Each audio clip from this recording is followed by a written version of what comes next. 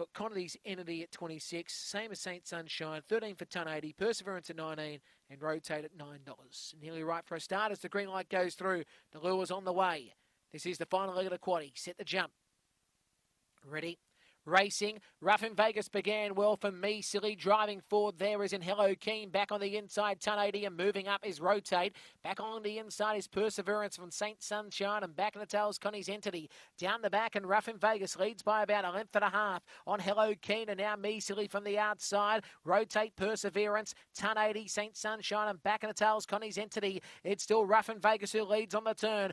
Me Silly on the outside, Hello Keen the inside, but Rough in Vegas still the leader. Rough in Vegas wins. Me Silly second. Third posse goes to Hello Keen from Rotate. Back on the outside there was in Perseverance, Ton 80. Then back on the inside with it was Connie's Entity, Saint Sunshine ahead of it. Race time 29 and 90 odd.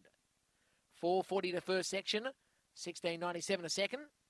And the winner, Rough and Vegas wins and wins well at the end. Rough and Vegas, trained by Tracy Price, owned by Noel Perry.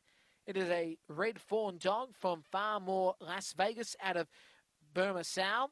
Second spot going to the two black and white Me Silly, trained by Peter Kern, or Peter Keen, I should say. Peter Keen, the trainer, owned by Alan Brooks.